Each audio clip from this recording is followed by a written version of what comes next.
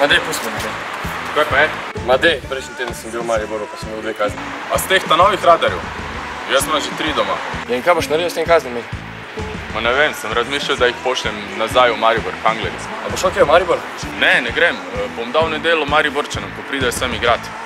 Ja, zdaj pa pridejo. Ob štirih. In če je pa dobra ideja, potem bom pa jaz odkrat kar prinesel. Je super, bomo pa oba v dala. Zdaj grem na trening. Shot from your